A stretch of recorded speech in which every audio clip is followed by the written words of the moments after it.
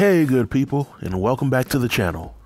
In a few moments, I'll give my thoughts and feelings on one of the craziest episodes of this season of Naked and Afraid. And for this video, I'll share my thoughts on the survivalists, the location of the challenge, and how the survivalists did as a team. So without any further delay, let's jump right in. The two survivalists in episode 9 are Raven and Omar. Now, episode 9 is unique for two reasons. One, because it's a fan challenge, which means that instead of the challenge lasting the regular 21 days, it'll only be 14 days. And two, both survivalists for the challenge are African American, which rarely ever happens on the show.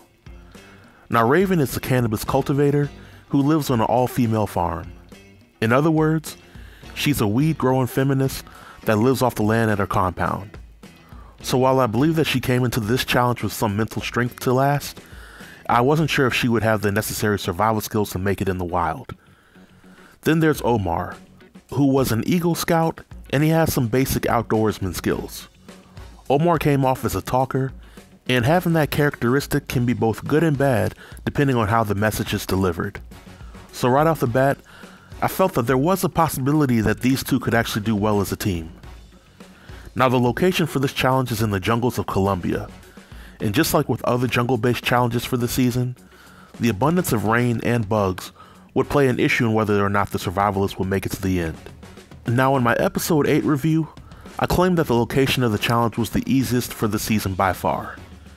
I want to retract my statement, because I believe that this location was by far the easiest for the episode.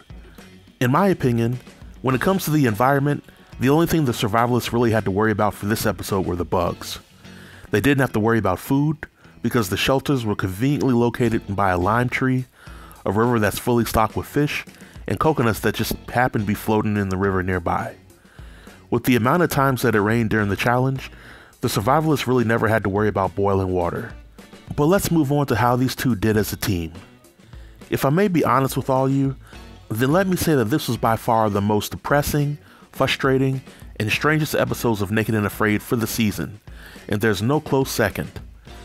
And the worst part of it was that this happened when there were two people of color chosen as survivalists. Now, as a team, I'll say that for 95% of the challenge, they were pretty bad at working together.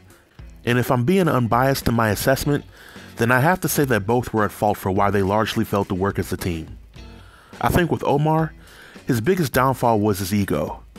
He knew that he was the most experienced survivalist on the team, but some of his decisions lacked logic and he refused to follow Raven's lead at some points. Raven, on the other hand, was difficult from start to finish. She tried to call Omar out on talking over her, but she had the same issues, and Raven frustrated Omar to the point where he felt the need to build another shelter for himself after spending much of his energy helping build the first one.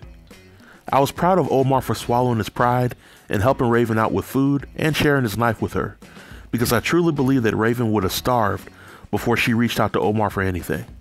So I was glad that they finally decided to work as a team to get to their extraction point, but it was sad that they couldn't work together much sooner than that.